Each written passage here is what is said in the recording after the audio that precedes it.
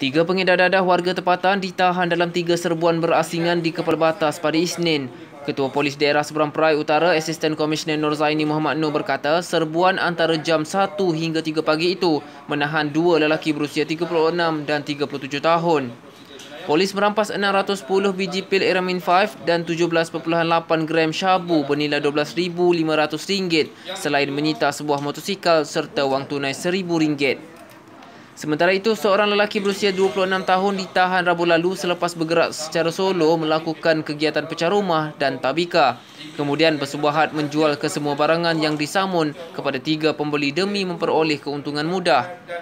Susulan daripada tangkapan itu membawa kepada penahanan tiga lelaki berusia 21, 33 dan 45 tahun yang didapati bersubahat membeli barangan samun daripada suspek.